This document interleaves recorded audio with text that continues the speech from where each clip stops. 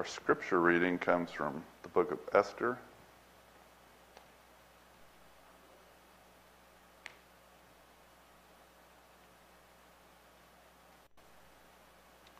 I'll get there eventually.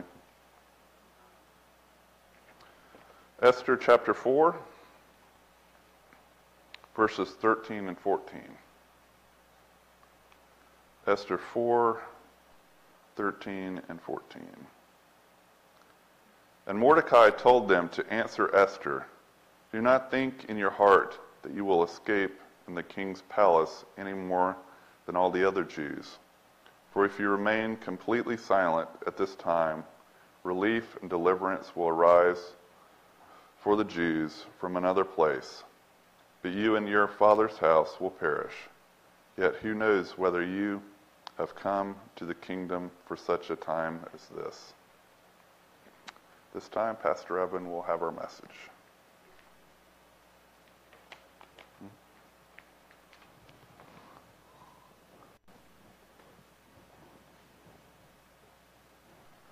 Happy Sabbath, everybody.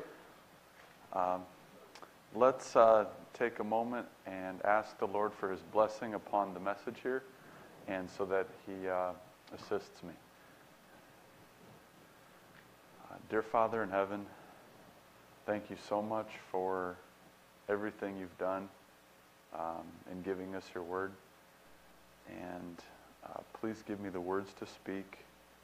Um, I I need your help to be able to uh, share everything today, and I need uh, I need your words to be in my mouth, and I ask that you give everyone uh, ears to hear, eyes to see, and uh, anything that you want them to hear in this message. In Jesus' name, Amen.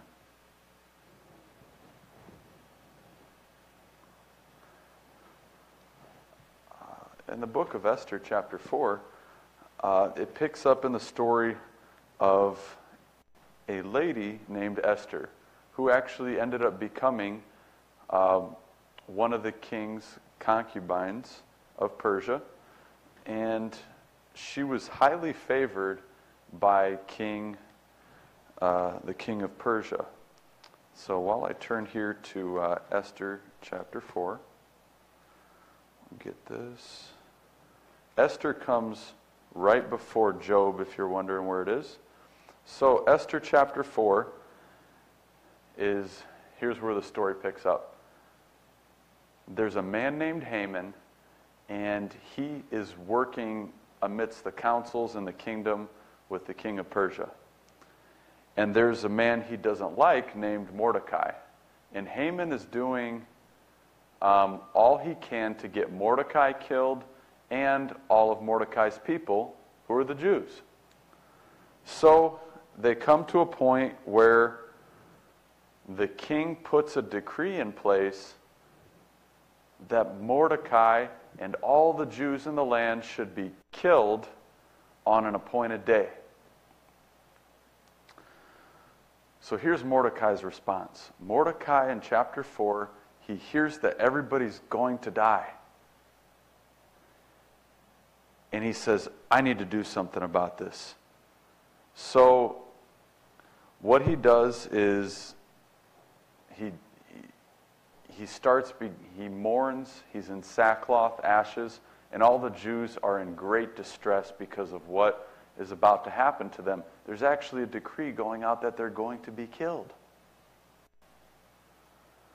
So, um, in verse 4, it says, Esther's maids and eunuchs came and told her, and the queen was deeply distressed. So Esther says, You know, Mordecai, you don't need to do this. Um, you know, I have um, better clothes for you. You don't, need, you don't need to do all that. And then Mordecai refused to put the, um, the better clothes on because he, he saw what was about to happen. And so he has this conversation with Esther, and here's what he says. Um, I'll read you part of this conversation here uh, with Esther speaking to Hathach also. So this is Esther 4, verse 10. Then Esther spoke to Hathach and gave him a command for Mordecai. All the king's servants and the people of the king's province know that any man or woman who goes into the inner court to the king who hasn't been called, he has but one law put all to death, except the one to whom the king holds out the golden scepter, that he may live. Yet I myself have not been called to go into the king these 30 days. So they told Mordecai Esther's words. See, Mordecai had said, Esther, you need to, to speak the king, to the king about this. And she says, Well, I'll die if I go in there. Uh, I can't go in unless the king calls me in. And then Mordecai answers this in verse 13. Don't think in your heart that you will escape in the king's palace any more than all the other Jews. For if you remain completely silent at this time, relief and deliverance will arise for the Jews from another place. But you and your father's house will perish. Yet who knows whether you've come to the kingdom for such a time as this? And then here's what Esther said Go, gather all the Jews who are present in Shushan, fast for me don't eat or drink for three days, night or day. My maids and I will fast likewise. And so I will go to the king, which is against the law. And if I perish, I perish. So Mordecai went his way, did according to all that Esther commanded him. Well, this is an inspiring story here.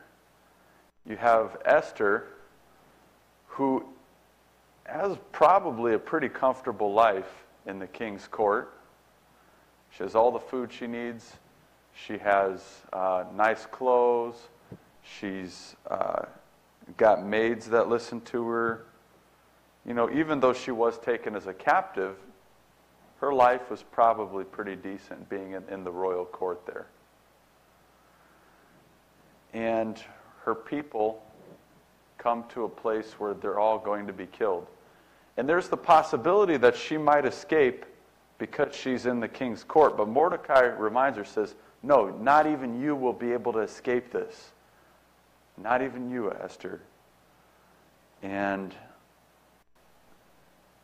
taking this into consideration, I don't think she had selfish motives, but she took into consideration what was about to happen and she made the decision and said, okay, we're at a point of crisis. I'm going to fast. I'm going to pray. And I want you all to do the same because we need the Lord's help. And then Mordecai went and, and did all that, that she asked. And there come times in our lives that are points of crisis, times when we have to make big decisions. And those are the times that it's appropriate to fast and pray if you're seeking the Lord's guidance. If you're seeking some type of path for yourself that the Lord has for you, it's time to fast and pray when you have a big decision, whether it's a crisis or even something good fast and pray. And that's a good way to open up your, your senses so that you can hear the Lord's voice. And even in our world today, we have uh, an interesting time. We have the virus, and I've mentioned too, you know, we have protests, riots, and we just have this state of unrest and uneasiness in society. If you find yourself concerned, if you find, find that um, you're having an inner groaning within yourself for what might be coming upon the earth, take some time to fast and pray so that you can have peace with the Lord and assurance of what your calling is in such a time as this. Because the truth is, is that, you know, everybody has a place in God's work in this time that we're living in. Um, in Esther's day, she was placed in the king's court to make special intercession for God's people and change the whole course of a nation of people through her actions. And she only did it because of her dependence upon the Lord. She didn't go and try to make a bunch of policies to try to change all this stuff without the Lord's help. She went to the Lord first before she took a step in that, that bold direction of going into the king's court. Remember, she would die if she went into the king's court unannounced.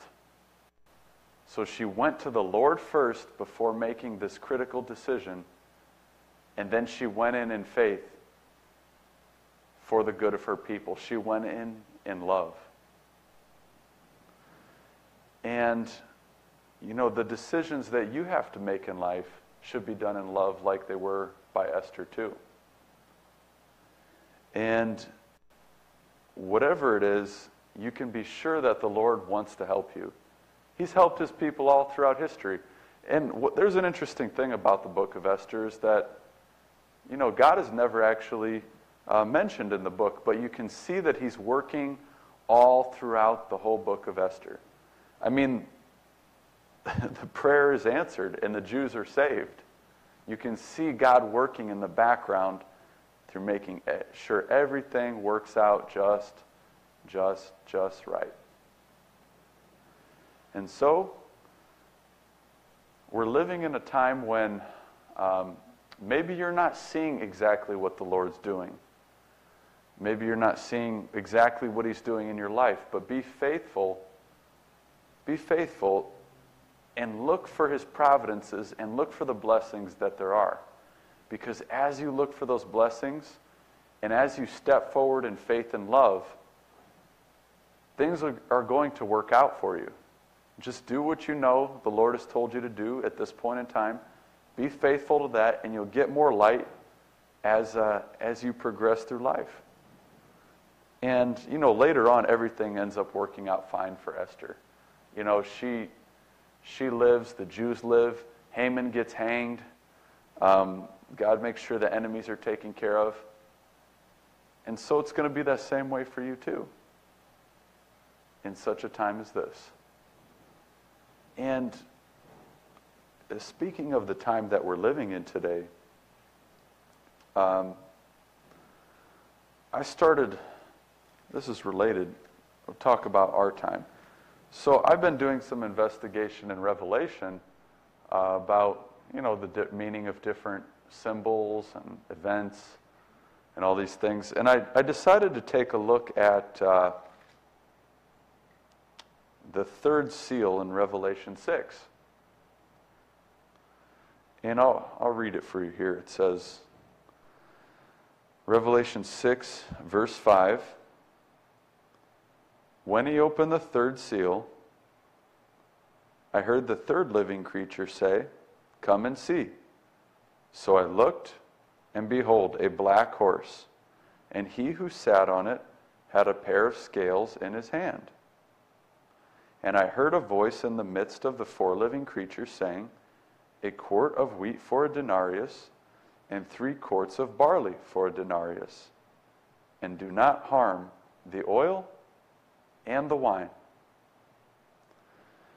Uh, in the past, this has been understood that uh, this was an age of the church, and this takes place during the time from Constantine to Justinian. And those are the, the early 300s to the year 538 is the time of the third seal. So that's around the time of Constantine to Justinian. That's the time period in Roman history when church and state really began to get closer together. Uh, you have Constantine really stepping out, making the first law of uh, worship in the empire. He began to mix pagan and Christian worship in order to draw pagans in. Um, and he made, there was many compromises in the church at large just to get uh, people to join the church.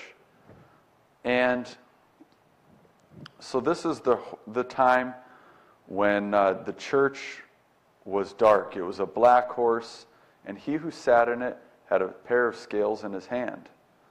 So the, the black horse here represents a time of, of, a, uh, of not being able to see, a time of darkness and deep error in the church. What were some of these errors in the church that came about in this time? Well, the time of, Const- of Constantine to Justinian from the 300s to about 538 is the time when some of these things got really popular. There was purgatory began to uh, be taught. Uh, there was worship of saints. Um, there was the celibacy of priests. And there were other errors and falsehoods and deceptions that became prominent in the church at that time. And uh, what else was going on here was um, you have this this excuse me here you have the black horse and the one sitting on it had a pair of scales in his hand and i looked up the word for scales. Uh, the scales are uh, another way of saying it, it's a yoke or a crossbar. It's related to the word that christ uses when he says take my yoke upon you. Um, and I'm still trying to figure out what bearing that has on interpreting this. But uh, I did study the uh, book of Daniel and Revelation by Uriah Smith, and here's a few things he says about it. He says uh, the scales in this uh, one's hand on the black horse represent the civil and religious power beginning to work together. And he says that uh, a quart of wheat for a denarius and three quarts of barley for denarius represent that uh, people were seeking continually after money, and that was the uh, the most important thing in people's lives at that point. I'm still trying to get where he gets that from exactly, but I, I have it in my mind to, to keep it for understanding. In my commentary here, here's what it says about it. It says, okay, a quart of wheat is about the amount of wheat a person eats in a day, about the amount of grain a person eats in a day. A denarius was a day's wages. So, what you have here is people spending their whole earning for the day for all of their food for the day. That indicates uh, poor economic conditions, and it indicates uh, it indicates, yeah, that's not a good time if people are uh, spending all their daily wage just for food.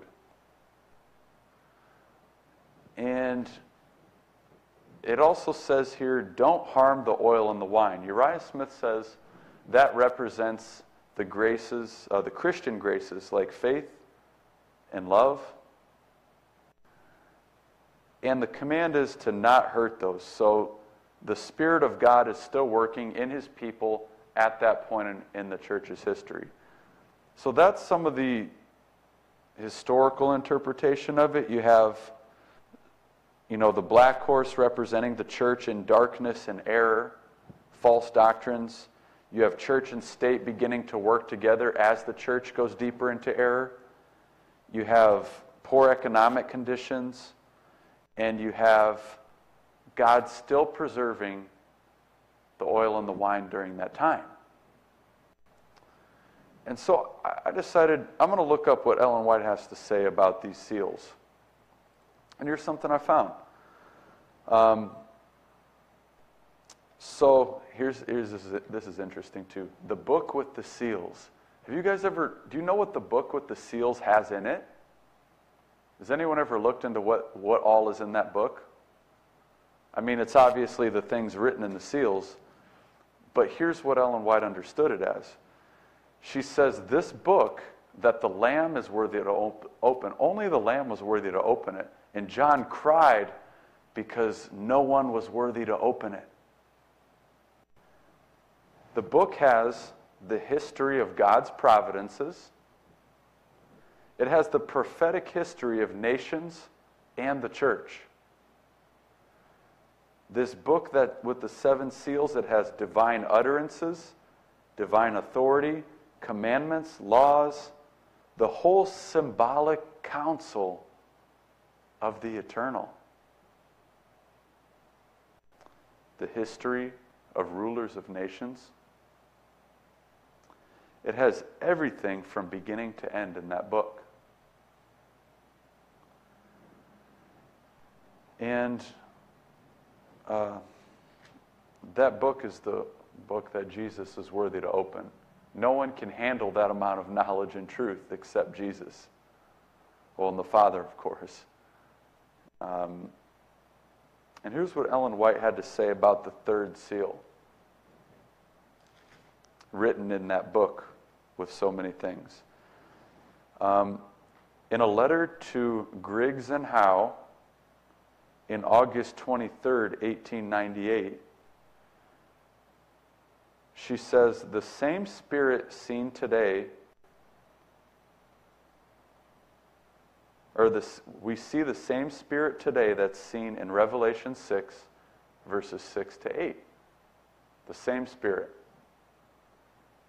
And honestly, I'm still trying to figure out totally what that spirit is that's discerned or that, that's presented in Revelation 6 6 to 8. Uh, it could be the spirit of worldliness in the church and, and darkness and deep error, um, and the spirit of uh, grasping for money, that kind of thing. And that would actually make sense because we're living in the day when there's a few false doctrines that are prominently taught in the Christian church. One is the sacredness of Sunday. Uh, another is that you live, you continue living when you die, that you have an eternal soul. And uh, those are two prominent false doctrines that have a, I mean, that are largely taught in the Christian church today. And you also have, uh, well, worship of saints, and of course, in the Catholic Church and that kind of thing. But uh, as Protestantism unites more with the world, it'll drift farther, further and further into darkness.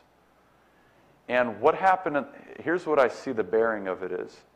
Um, in the past, when church and state came together, first, the church had to go into falsehood and deception and darkness and error.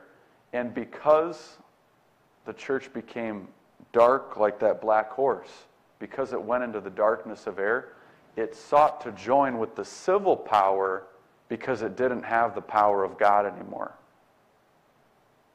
And that's how church and state will come together in the United States. Um, as Christianity at large becomes more and more void of the Spirit of God, it will get closer and closer to the rulers of the earth. And um, we can see that progression today already. And here's what Ellen White says. She says, right after she says, the same spirit that's seen, uh, that we see today that's represented in Revelation 6, 6 to 8. So that's error, deception, um, false doctrines, church and state working together. She says, we see the same spirit today. She says, histories to be repeated, that which has been will be again. And right after that is the fourth seal, and that's when church and state have fully come together, and then persecution begins by the church state power. You know, it's, it's this pale horse, um, death in Hades followed with them. It's horrible. And we're living in that day. We're living um, in a sense, in the time of the third seal. Uh, the time when church and state are, are coming closer together. And it will culminate in a time like Esther came to. Um, Esther was living at a point in history when a decree was put forth to kill God's people, and we know that church and state will do this in the future. And uh, we need God's courage, we need God's boldness, and we need to be willing, like Esther, to make tough decisions in that time and be willing to say, if I perish, I perish. I'm going to do what God wants me to do. Because we know that when the uh, mark of the beast is enforced, we'll be forced with a decision like Esther. You know, do I st- hang out here in the courts of the king and, and try to ride this out? See, maybe, I, maybe I'll live, you know? Maybe I'll make it. Um, or do we stick with the people of God and do what God has called us to do? Because we have been called for such a time as this. Uh, each one of us to play our own special part in God's final work on this earth. You may have work like Esther. You may be like Mordecai out of the courts, making the request to Esther and notifying her of what needs to be done. You may be uh, one of the Jews out there mourning, seeing what's about to happen, and fasting and praying. But we all have a part. We all have a part in God's final work. And it's not only to ask for God's help out of the crisis. This, before we reach that crisis when the death decree goes out, we have a work to do for the Lord. And that work is to reveal our precious Savior to people. That's our work on this earth. Do you have questions about what God wants you to do? Here's what it is show people what Jesus is like. And then they can stand with us during that crisis without hesitation, with boldness, saying, If I perish, I perish. I'm going to stick with Jesus, the one who died on the cross for me, the one who laid down his life the one who gave me this word to point me to heaven, to Him. We've been called for such a time as this, brothers and sisters. And we don't have to be afraid. We can be joyous in the Lord and give ourselves wholly to the work of God. We can do it. And it's not really us anyway, it's God. Not really us. And uh, I want to encourage you today to be strong. And remember that phrase saying, If I perish, I perish. I'll do anything for God in the point of crisis. This could even be a point of crisis, not with the, the national crisis and church and state coming together, it could be a point of personal crisis. When you're being compelled by the devil to do something to find your own way out of trouble. But stick with God and make Him your strength. Fast and pray and stay with the Lord. And I want to ask you today.